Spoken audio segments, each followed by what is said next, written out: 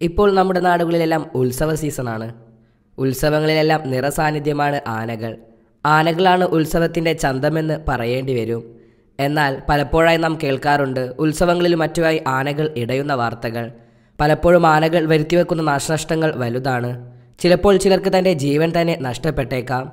നമ്മളിപ്പോൾ കണ്ട വീഡിയോ തന്നെ കണ്ടോ? തലനാരിഴക്കാണ് ആനപ്പുറത്തു നിന്നും ആ വീണ യുവാവ് രക്ഷപ്പെട്ടത്.